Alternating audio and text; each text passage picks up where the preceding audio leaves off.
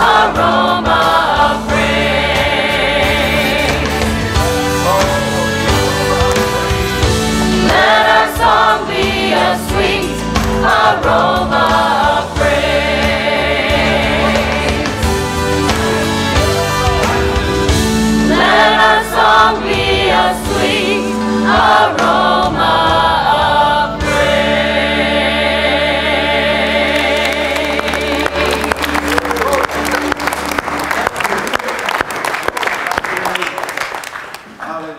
You may be seated for just a moment. We're going to stand right back up and sing in a bit, but I want to share with you a passage of Scripture to kind of um, set up the rest of the service and what we'll be talking about today.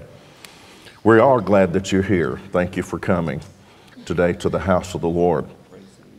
And this morning we're going to be spending some time in the book of Exodus, which describes a magnificent scene there where um, Moses goes on top of the mount, and the, the things that were taking place there were just literally earth shaking, a very fearful place, and a very, very fearful time. This New Testament passage that I'm going to read now is looking back to that time and referencing that time, and we'll save that for later. But the New Testament application of it comes in in Hebrews chapter 12, beginning at verse 18, which says, For you have not come to the mountain that may be touched and that burned with fire, and to blackness and darkness and tempest and the sound of a trumpet and the voice of words, so that those who heard it begged that the word should not be spoken to them anymore, for they could not endure what was commanded. And if so much as a beast touches the mountain, it shall be stoned or shot through with an arrow. And so terrifying was the sight that Moses said, I am exceedingly afraid and trembling. But you have come to Mount Zion, the city of the living God, the heavenly Jerusalem, to an innumerable company of angels, to the general assembly and church of the firstborn who are registered in heaven, to God, the judge of all, to the spirits of just men made perfect, to Jesus, the mediator of the new covenant, and to the blood of sprinkling that speaks better things than that of Abel. We could keep reading, it's a fascinating passage.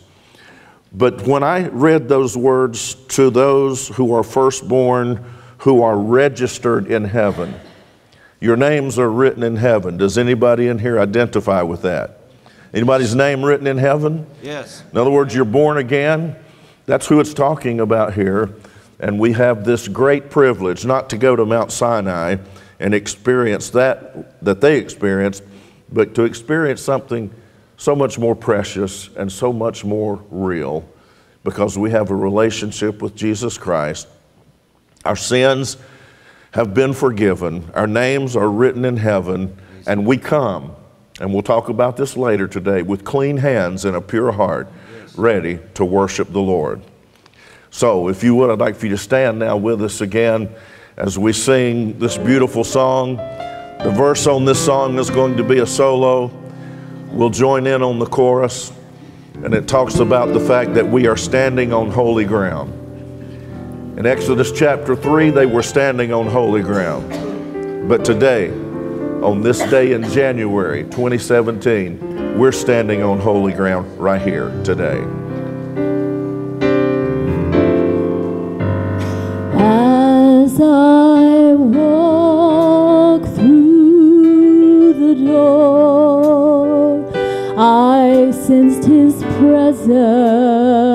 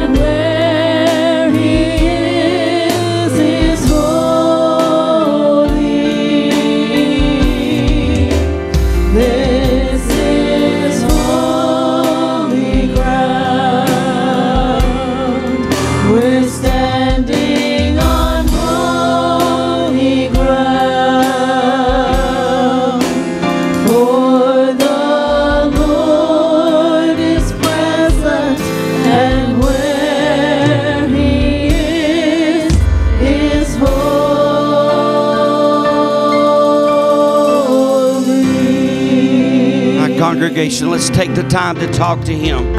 As we are in His presence, Lord, we humble ourselves this morning to receive what you have for us, Lord. And we love you because your Spirit is real and in our hearts. The church says, Amen. Let's give the Lord a hand clap of praise in the Spirit of the Lord that He is in our midst this morning.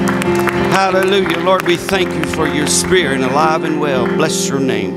You may be seated.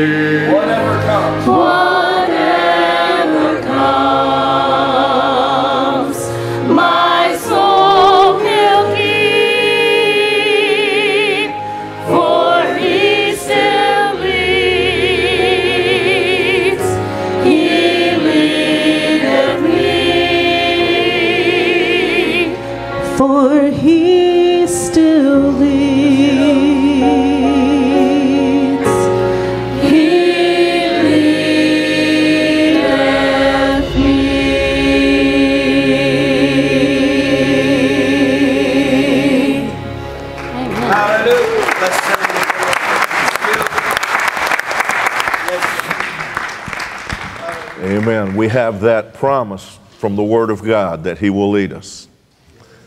Amen. Thank the Lord for that. Um, our ushers are preparing themselves uh, to wait on the congregation in just a moment, and as they're getting ready and getting in place, I'd like to share something with you that I've meant to share several times in the past, and it just slips my mind, primarily because it's not something that's in the forefront, forefront of my consciousness all the time.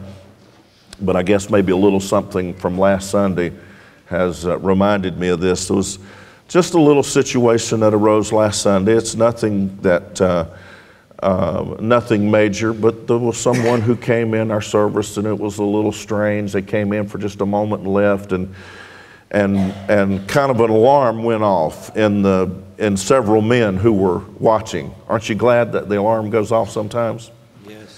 And uh, just to let you know, we do have men in the lobby of our church and who are watching things as we're having service.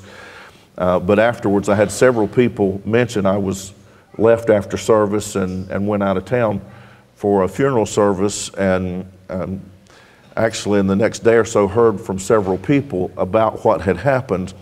And these gentlemen were on top of things and watching over our congregation, and nothing came of that, thankfully. Um, but it is a reminder that we live in a world where we have to keep our eyes and our ears open. Amen? Yes. And so, with that in mind, I'd just like to tell you all something that maybe many people don't know. You, um, some of you, if you're seated in the right places, can see uh, exit doors here, an exit sign over that door, and an exit sign over that door. And then there are exit signs over the doors at the back where you come in. Now, we're required by law to put those up there so people will know where the exits are. And you see those in about every building that you go to if it's a public building.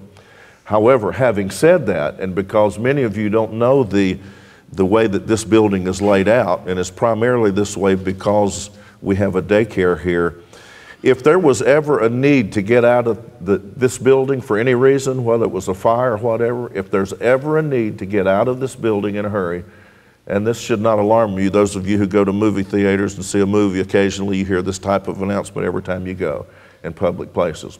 So if the need ever came where you needed to get out of the building, you can go to the nearest door to you, wherever that door is. If you see a door in this building, you can go to that door, the closest one to you, and it goes outside. So you don't have to go to an exit sign. You can go to any door. Any door will get you outside the building in a hurry. And that's really a blessing because actually we could vacate this building in probably less than 30 seconds with people just spreading and going to the nearest door and going out. So uh, many of you might not have known that, that that was um, an option, so we wanted to make everybody aware of it um, in case there was ever a need to do that. If there is a fire, I want to get out of here. What about you? Yes. Amen. So if there, anything like that were ever to come out, just remember any door goes outside. Just uh, just take the closest one to you, and no door should be backed up. Everyone should be able to get out in quick fashion. And I want to take this opportunity to thank our men and women who are um, um, watching, alert, watching the parking lot, watching the lobby as we're in here, always being concerned about safety and so forth. Uh, I think that's wise these days, and we're thankful that we have people who are doing that. We have a God who loves us. Amen. He is such a good God. He blesses us. The Bible says that every good gift and every perfect gift comes from above. The Lord has blessed His people, the Lord has blessed us. We have the opportunity, this being the Lord's day, and consistent with the Scripture, to bring our tithes and our offerings and present them as a token, an act of worship, a demonstration of our love for our Lord. That's why we give, out of obedience and out of love for Him. So our ushers are coming, and as we have already worshiped in praying today. We've worshiped through singing today. Now we're going to worship through giving. Let's bow our heads. Thank you, Lord, for the way that you've ministered to us and blessed us. And we pray, Lord, that you would receive the tithe and the offerings that we give to you today. Receive them, Lord, with um, the understanding that we are so grateful for what you have done. And receive them, Lord, as an act of worship. For that is surely why we do this today, in obedience to your word and out of a heart of gratitude. Take everything that's given today, and Lord, may it be used only for your glory and your honor. Multiply it like you did the loaves and the fishes, and bless your people. Bless your people, we pray. Yes, Lord, pour out a blessing. There's not room enough to receive as your word is promised. We do thank you today. Blessed be your name. Amen. God bless you as you give today. Redeemed, how I love to proclaim it. Redeemed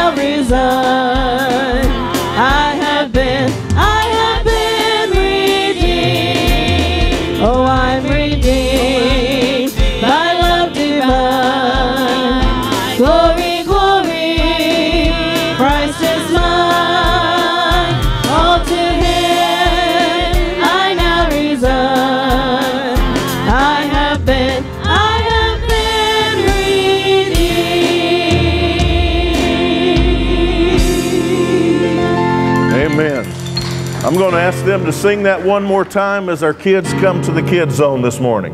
One more time, would you sing it? I'm redeemed by love divine.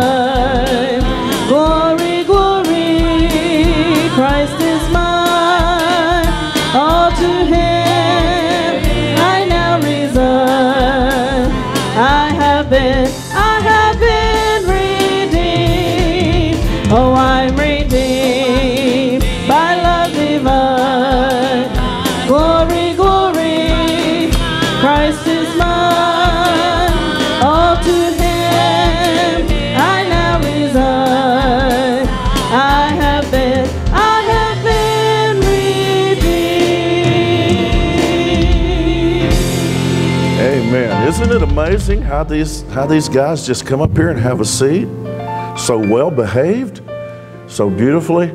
That's an amazing thing to me. I think it's a wonderful thing. We got a good group of kids here at New Life Church. I'm glad that you guys are here today. We're going to talk a little bit about today the book of Exodus. Now, the first Sunday we were here and we met together, we talked about who created the earth? Who created the earth? Who created the birds? Who created the trees? What about the fish? The crocodiles? The bumblebees? God created all of it, didn't He? God created everything that is. And, and it was a beautiful thing what God did. And when He finished, He said, It was very good. That was the first Sunday that we talked together about the book of Genesis. We talked about creation. Now, the next Sunday when we came together, we talked about Abraham and how God gave a promise to Abraham that he was going to have a son, and he was going to have many descendants, and there was going to be a great nation that was going to come from Abraham. So we talked about Abraham and Isaac, and then Isaac had a son whose name was Jacob, and Jacob has a son that we talked about last week. Does anybody remember his name? Somebody tell me. Joseph was his name. That's exactly right. And the Bible says that Joseph was loved by his father. Jacob loved Joseph more than all the others. Does anybody remember what Jacob did to kind of show a little bit of, of love to his son? What did he do? Made him a rainbow coat. Made him a rainbow coat. Very good. Made him a coat of many colors, and he put that coat on. And Joseph had 10 brothers that were older than him. He had one brother that was younger, but Joseph had 10 older brothers. And how did those older brothers feel about Joseph and the love that Jacob had for him and this beautiful rainbow coat that he had on? They, you're right. They were jealous and they didn't like him at all. As the Bible said, that they couldn't even speak peaceably to Joseph. They couldn't get along with him at all. They didn't like him, they despised him. And so one day when they were all out in the field working, and we talked about this last week, what did they do? Anybody remember? They sold him. They were going to kill him, but then they sold him and put lamb's blood on the coat and gave it to. Absolutely right. They were going to kill him, but then they put him in a pit, and then they sold him into slavery to some people who were coming through, traveling through, and then they took that, that rainbow coat and they, with the blood all over it of a lamb, and took it back to Jacob and said, Is this Jacob's, or Jacob, is this Joseph's coat? And Jacob said, Yes, it is. Surely an animal must have killed my son. And so Jacob thinks that his son Joseph is dead. And of course, the brothers didn't say anything about it. And this went on for years and years and years until there was a famine in the land. There was no food to be found. And Jacob said, Okay, boys, go over to Egypt and buy some food because there's still some food there. And when they got to Egypt, who was it that was selling the food and in charge of everything? Joseph. Joseph was in charge of everything. And Joseph recognized his brothers. He didn't tell his brothers who he was. Remember, he was a whole lot older now, and he was grown up now. He probably had a beard now, and he was speaking a different language now. So when they went into Egypt to buy some food, Joseph is the one that waited on them or that talked to them, but they didn't know it was Joseph. But Joseph knew who they were, and oh, he loved them. And a long story short, he forgave them. He loved them, and he brought the whole family, all of those boys and their sons and their families, everybody, 70 people, he brought them all into the land of Egypt where they were cared for there. That's how that the children of Israel got into Egypt. Before you can, I was talking about this just a few minutes ago. That sign over the door, what does that say? It says exit. Can you exit unless you first have entered? Don't you first have to come in and enter before you can exit? Yeah. Sure. And so the Bible tells us, we just explained how the children of Israel entered Egypt. They went there to be cared for and have food, and Joseph took care of them. But after many, many, many years had expired, had gone by, there's a new king that rose up in Egypt that did not know Joseph and made slaves out of them and mistreated them very, very badly. And they began to do what most of us do when we get in trouble. If you get in real trouble and you have a real need and you can't see any way out, who do you call on? You call on God. You sure do. You cry out to God. Lord, this is going on. I don't understand this. Why is this happening to me? Oh, God, help me. Well, that's the way they began to pray. And they cried out to God, and the Bible says that God heard their cries, and God saw their suffering, and God knew what was going on there in Egypt. So he chose a man to deliver them out of Egyptian bondage. What was that man's name? Moses. Moses. Anybody remember Moses? Remember, Moses was born and placed in a basket, and, and pitch was put around it. They sealed it up good and put it in the river, and it was floating down the river. And Pharaoh's daughter found it and pulled Moses out. Well, Moses was chosen to bring God's people out. Now, that's a long story, but the part of the short story that I want to share with you all today is the Ten Commandments. How many have ever heard of the Ten Commandments? Yeah. Moses went on top of the mountain and began to hear from God. And the Bible says there was thunder and there was lightning and there was smoke and there was fire and the ground trembled and it was a scary sight where all the people just backed up. But who was up there with God? Moses was. Moses was hearing from God, and while he was up there, the Bible says that God gave Moses 10 commandments on stone. Let's see, I'm gonna let you do this. Could you hold that for a minute and tell me if that's heavy? That's heavy. Yeah, it's out of rock.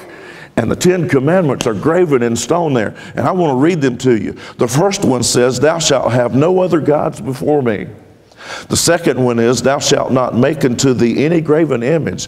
The third one is, Thou shalt not take the name of the Lord thy God in vain. The fourth one, Remember the Sabbath day to keep it holy. The fifth one, Honor thy father and thy mother. The sixth one, thou shalt not kill. The seventh one, thou shalt not commit adultery. The eighth one, thou shalt not steal. The ninth one, thou shalt not bear false witness against thy neighbor. And the tenth one, thou shalt not covet. That's how many commandments? Or how many rules? Or how many laws? Yeah, these are things that God wanted us to do. These are things that God said were not optional. You can do this if you want to. He said, This is what I expect from you. You're my people. This is what I want you to do. Now, let me ask you this Has mom or dad ever given you anything at home that they say they want you to do? Mm-hmm. Let's, let's think about some things. What might mom or dad say to you that would be a commandment? Oh, I know. Don't you go out and play in that street. Why would mom or dad tell you not to go out and play in that street? Sam? You could get hit by a car. So, what is it that causes mom and dad to tell you not to go out and play in the street? Huh? God. God would say it, but why would God say it? Because he loves That's exactly right. God would say it because He loves us, or your parents would say that because God loves you, or because they love you. They don't want to see you get run over, so your parents may say, Don't play in the street, or they might say, Eat your vegetables. And why would they say that? So you get healthy. And because They love you. They love you, exactly right. Or they might say, Don't talk to strangers and, and don't you ever leave this yard with a stranger. Why would they say that? Because they love you. Don't you to get hurt. Because they love you. Do you see how mom and dad will say things and tell you things not to do and some things you're supposed to do and they do it why? Because they love you. Because they love you. Do you know why that God gave the Ten Commandments to His people? Why? Because he loved them. And did you know that if you'll do these Ten Commandments, if you'll obey these Ten Commandments, do you know it'll save you a whole lot of trouble and a whole lot of heartache? It'll keep you out of jail. It'll keep you from having trouble in life. If you'll do what God says do, it will take care of you through life because God said that He wants you to do this because why? Because He loves you. And that's why we have the Ten Commandments. And that's why you all need to be very, very attentive to your teachers this morning as you get ready to go to your class and they're going to talk to you about the Ten Commandments. We're not going to sing today because Pastor Ron is struggling. But could we do our group hug before you go? Let's do that. Hurry, hurry, hurry, hurry, hurry, hurry. Love you guys. Take care. Bye bye.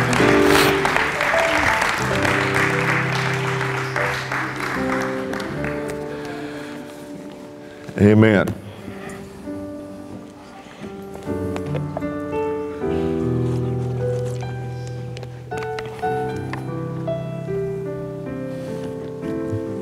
Before I begin this morning, I'll say I apologize for my voice, but it is what it is.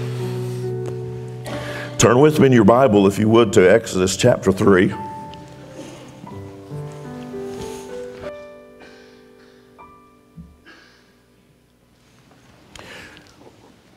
Instead of talking with you for the remainder of our time together about the Ten Commandments, I want to share something with you that's a little deeper and extremely important, and something that you may or may not have considered before.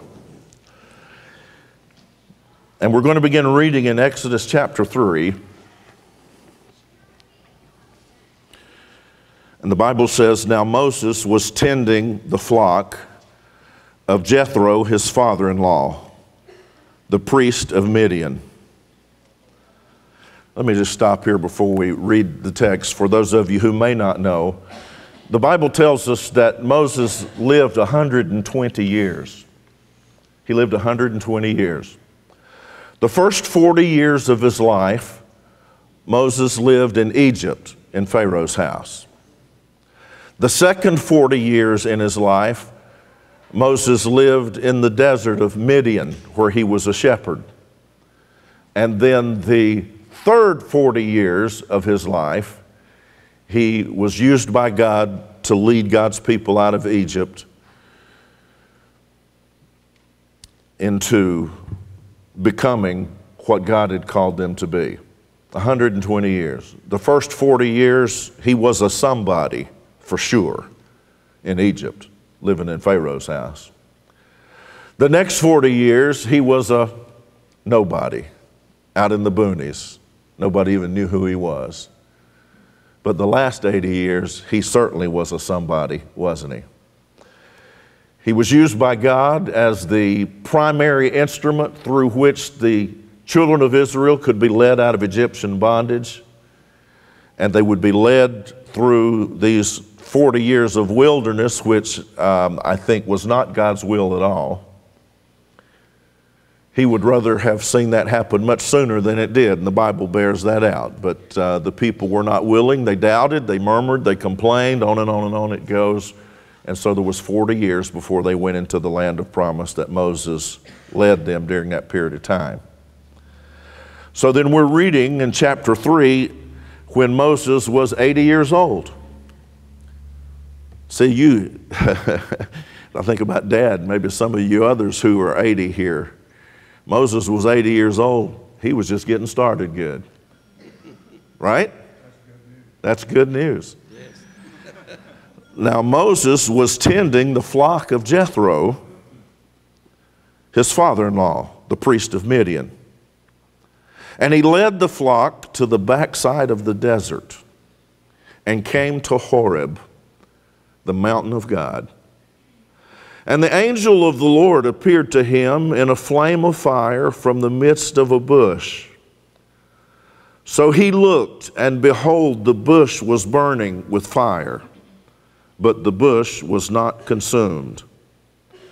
Then Moses said, I will now turn aside and see this great sight, why the bush does not burn. So when the Lord saw that he turned aside to look, God called to him from the midst of the bush and said, Moses, Moses. And he said, Here I am. Then he said, Do not draw near this place. Take your sandals off your feet, for the place where you stand is holy ground. Moreover, he said, I am the God of your father, the God of Abraham, the God of Isaac, and the God of Jacob. And Moses hid his face, for he was afraid to look upon God. And the Lord said, I have surely seen the oppression of my people who are in Egypt, and have heard their cry because of their taskmasters. For I know their sorrows. So I have come down to deliver them out of the hand of the Egyptians and to bring them up from the land to a good and large land, to a land flowing with milk and honey.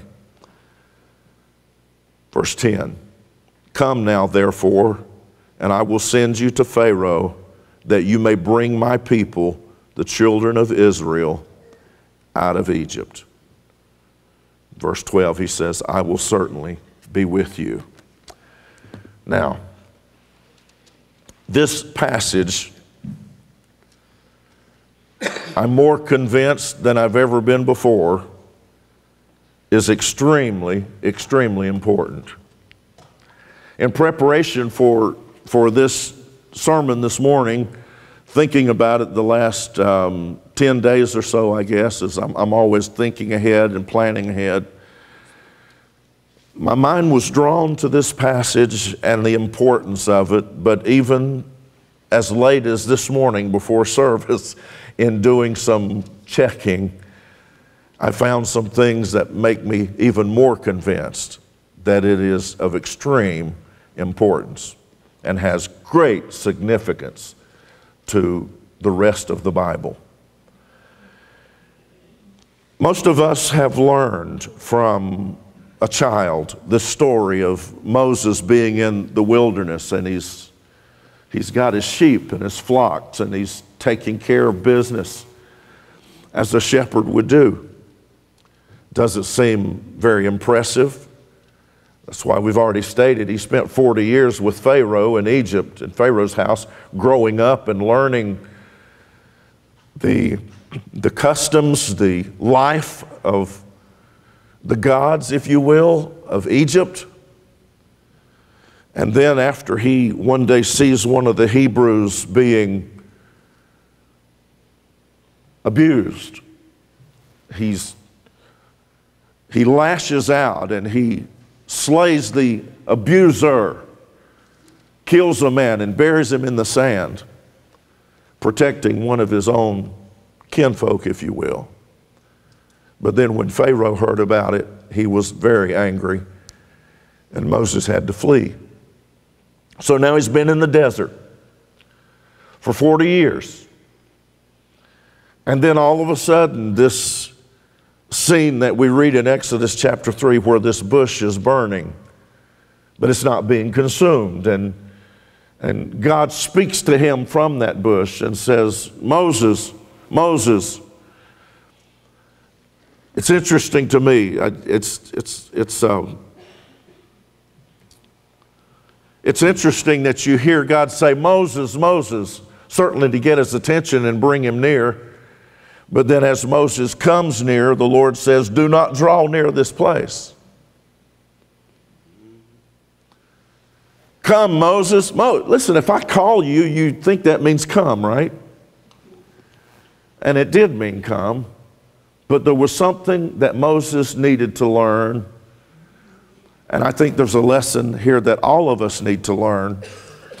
And for years, I was puzzled. Many years, I was puzzled. What a strange thing to me it is to look at this passage and see where Moses is called to where God is.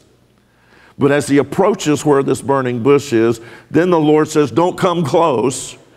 And then he says, Take your sandals off your feet, for the place where you're standing is holy ground. And I wondered and I've scratched my head and I've thought about that and it never really made a lot of sense to me. And then one day I thought, there's, there's got to be a reason. There's got to be something there. That, that's got to have some meaning somehow. And I went back and began to read to get the context. I read chapter 3, verse 1, where the Bible says that Moses is tending the flock, and Moses led the flock. Moses tending the flock, and Moses led the flock.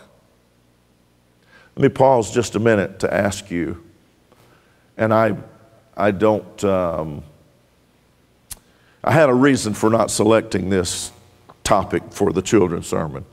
I found something else.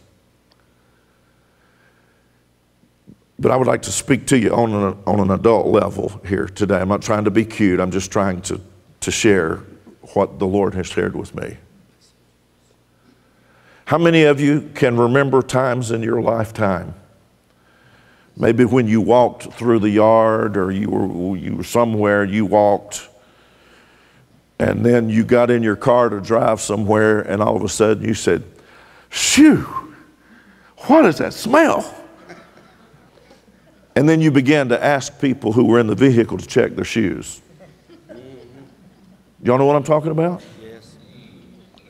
I think it's happened to all of us. I can, it's, it's so vivid in my mind. I can remember one time when I was a little boy and, and, and dad was traveling a lot and mom was driving the car and we were coming home from church or going to church one night and, and that very thing happened. What is that smell?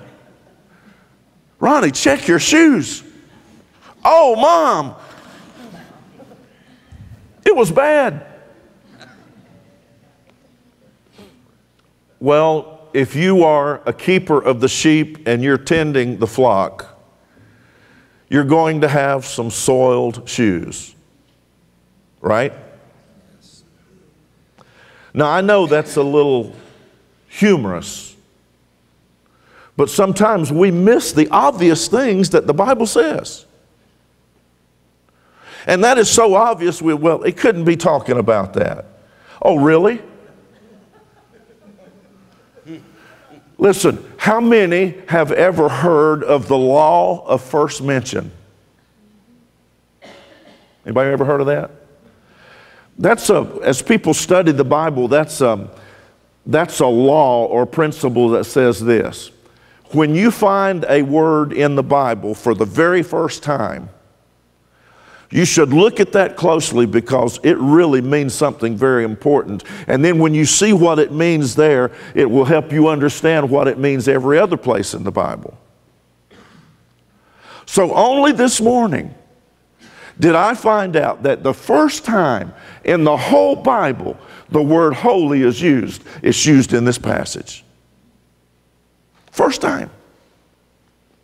And the Lord says to Moses, when he, he first calls Moses to him, and as Moses, Moses approaches him, he says, Don't come any closer. Take your shoes off your feet, for the place that you're standing is holy ground. Moses was unclean. There was we might say, a stench attached to him and his shoes based on what he did and where he had been. And the Lord says, When you come into my presence, and don't miss this, the Lord says, When you come into my presence, I want you to come clean. Now, that's not, that's not talking about the person who comes to the Lord in repentance of sin. Because the sinner is a sinner. Amen? And a sinner comes to the Lord and he's, he's sinful and he's wicked and he's depraved and, and the sin has polluted, excuse me, his life. And then he comes to the Lord, and the Bible says that, that the Lord just washes us clean, right? Few minutes we're going to sing, What Can Wash Away My Sin? Exactly. When we, and when we come in that repentant prayer, the Lord hears our prayer and He's willing to accept us. Amen? if we confess our sin God is faithful and just to forgive us our sin and to cleanse us from all unrighteousness. So we can come to the Lord and repent. But you know, after we're children of God, after we have realized what the Lord says, amen? The commands that He's given, the expectations that He has for His children in His Word. After we understand those things, the Lord expects us to comply. Amen? Last, last week we referenced the fact that, or maybe it was in Bible study Wednesday night, I don't recall, but Israel here in this passage has been or is about to be redeemed. They are being redeemed from Egypt. And as they're redeemed from Egypt, the Redeemer lays some expectations upon their lives.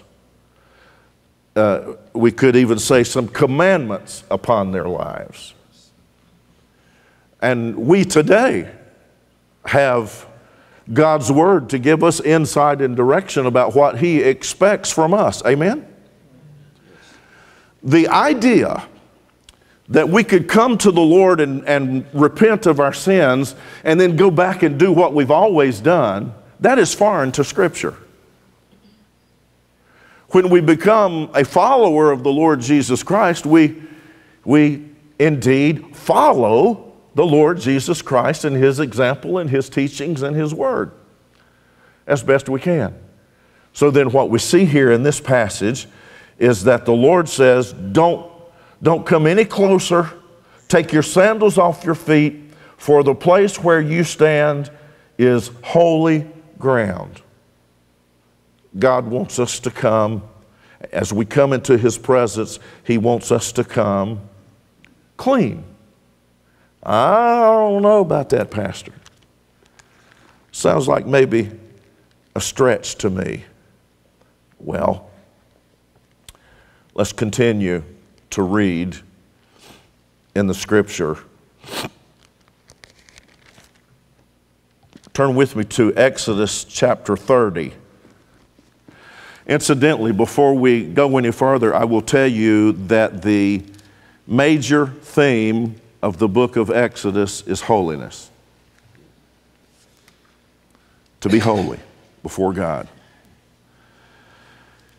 in Exodus 30, as the instructions from the Lord are given to Moses about the construction of the tabernacle and how they're supposed to worship and what's going to be put in the tabernacle, verse 17 of Exodus 30 says, Then the Lord spoke to Moses, saying, You shall also make a laver of bronze. If you don't know what a laver is, think bird bath. Just, just a big bowl like a bird bath that holds water. You shall make a laver of bronze with its base also of bronze. And what's it for? It's for washing. You shall put it between the tabernacle of meeting and the altar, and you shall put water in it. For Aaron and his sons shall wash their hands and their feet in water from it when they go into the tabernacle of meeting or when they come near the altar to minister, to burn an offering made by fire to the Lord, they shall wash with water, lest what? Lest they die. Does it sound serious to you? So they shall wash their hands and their feet, lest they die and it shall be a statute forever to them, to them and his descendants throughout all their generations. You might turn with me, if you would, to Exodus 40, and as you're turning there, let me share something with you that although not found in the scripture, it's found in Hebrew history. And Josephus and others, Jewish historians, have written about this. That as the priest would go into the temple or into the tabernacle to prepare to make sacrifice to the Lord.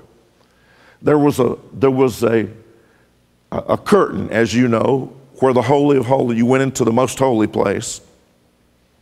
There was a curtain there, and only the high priest could go in there. And that once a year on the Day of Atonement.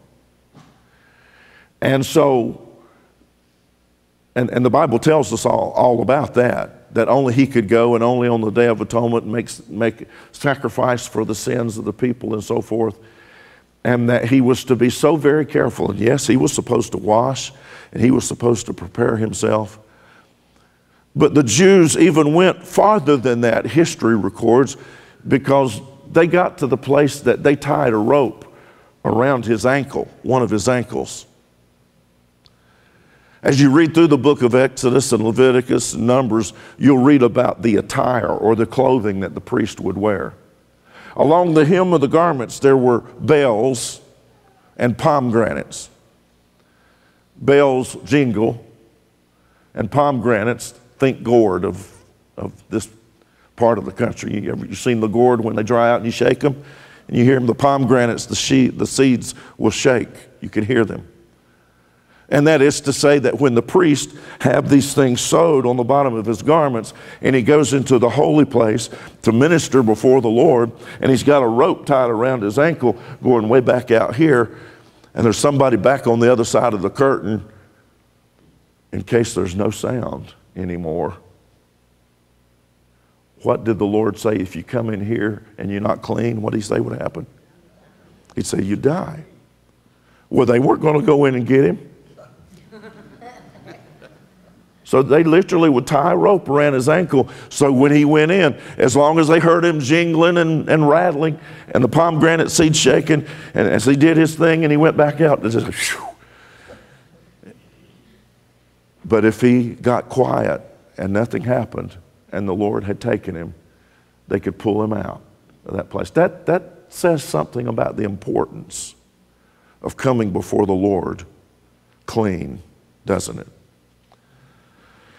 In Exodus 40, verses 30 through 32, Exodus 40, 30 through 32, he set the laver between the tabernacle of meeting and the altar and put water there for washing.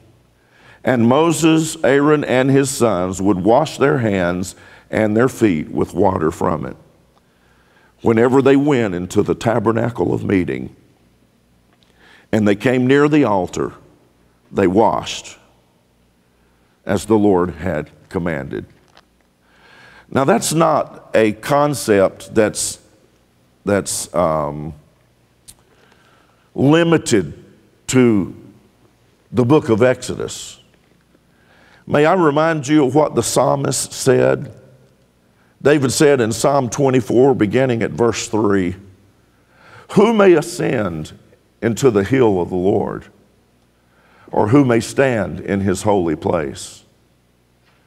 He who has clean hands and a pure heart, who has not lifted up his soul to an idol, nor sworn deceitfully. He shall receive blessing from the Lord and righteousness from the God of his salvation. And we read the same thing or very similar in Psalm 15. Listen to this Lord, who may abide in your tabernacle? Who may dwell in your holy hill? He who walks uprightly and works righteousness and speaks the truth in his heart, and he who does not backbite with his tongue, nor does evil to his neighbor nor does he take up a reproach against his friend. And may I say to us today that when we talk about coming before the Lord clean, the very first time in the Bible the word holy is used is used in Exodus 3. The very first time the word holiness is used is in Exodus 15 as Moses is praising God for his holiness. But I'll submit to you that the Lord is not as concerned as what you may have on your shoes, as what you may have in your heart. That's why we just read, you talk about who can abide in the tabernacle, who may dwell in your holy hill.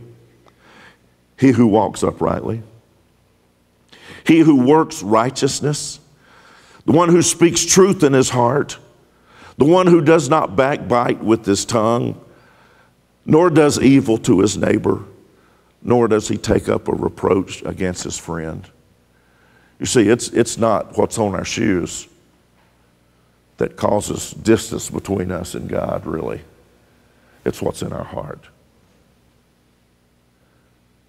Is that not why the Lord says, if you can't forgive your brother who has sinned against you, then God won't forgive you? Right? You see, we, we can't harbor unforgiveness. We can't hold grudges. We can't have an attitude against a brother or sister in the Lord. A lot of those things we think, well, they're no big deal. They are, they're things that are talked about in the Word, things we have to, boy, we have to guard our hearts and our minds. Because if we're going to be, to be holy simply means, well, first of all, the idea is to be separated. Separated from what? Separated from anything that's unlike God. So to be clean and to be separated, those are the two concepts behind holiness. There's no way that we can be holy if we're going to live, act, talk, and walk like the world does.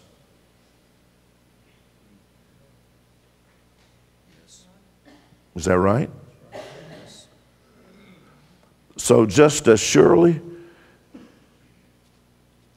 as the children of Israel made an exodus from Egypt, Christians have to make an exit from worldliness and the way things are done in the world.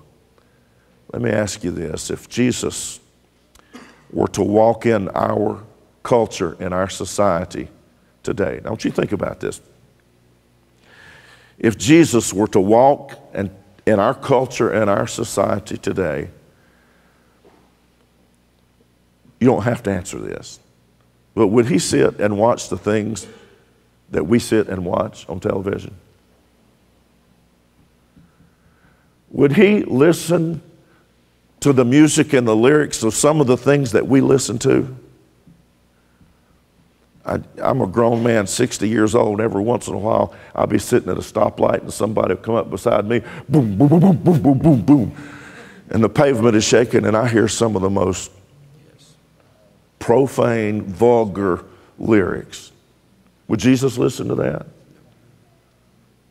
So we need, we need to be careful what we see, what we say, what we hear, where we go, what we do, how we act, how we react. And our model for all of that is who? It's Jesus. Maybe it's time for a revival of WWJD. What's that? What would Jesus do? To be reminded that we need to respond in life like Jesus responded. The Bible tells us in the book of Hebrews, and I'll bring this to a close here. The Bible says in Hebrews 12, verse 14, pursue peace with all people And you may think, well, that's not a big deal. Well, it, you know what? I, am amazed at how the, the, the Holy Spirit, who is the one who inspired Scripture, caused this to be worded. It says, Pursue peace with all people and holiness, without which no one will see the Lord. Think about that we as Christians, we're going to have to learn to get along. We're going to have to learn. Listen, it doesn't matter your political affiliation. It doesn't matter your what you got in your bank account or what color your skin is or what school you went to or how far you went in school. We are going to have to learn. Christians are going to have to. Blessed are the peacemakers. And that's who we are Christians. That is linked closely with holiness. We don't respond like the world responds. We don't talk like the world talks. We don't react like the world reacts under pressure because we want to be like Jesus. Amen? Yes. Um, the old song says, What can wash away my sins? And the answer is nothing but the blood of Jesus. Would you stand with us as we sing that today?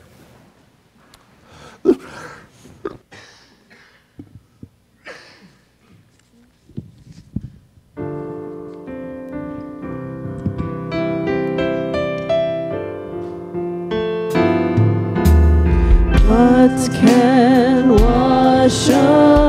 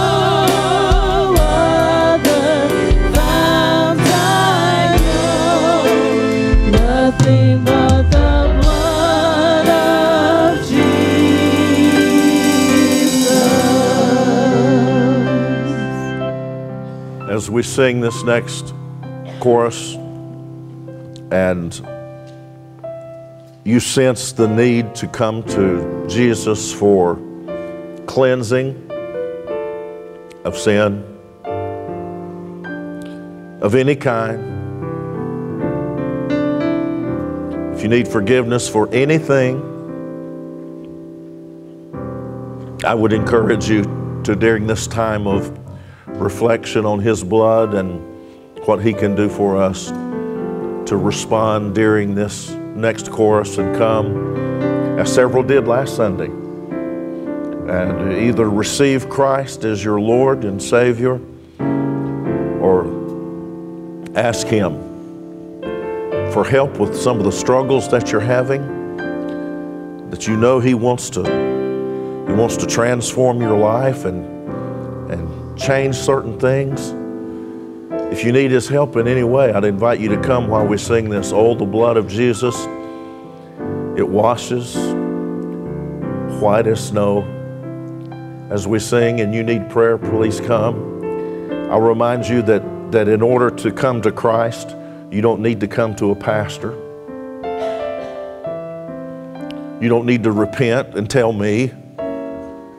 You need to talk to Jesus and tell Him. I can't forgive sin. Jesus can.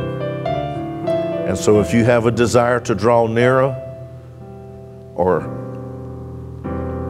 come to Christ or any need that you have that you'd like to come and just yield it to the Lord, as we sing this next course, please feel free to come and pray. Oh, the blood of Jesus.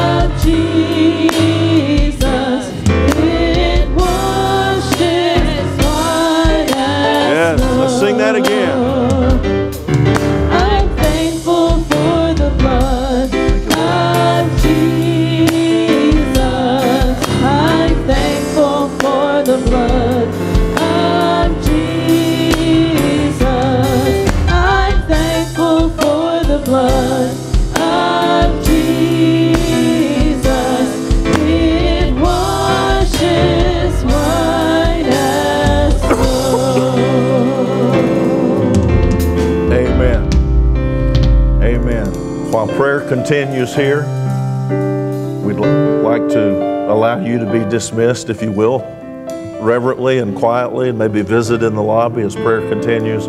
God bless you. Thank you for coming today. Have a great week. The Lord loves you. Your pastor loves you as well.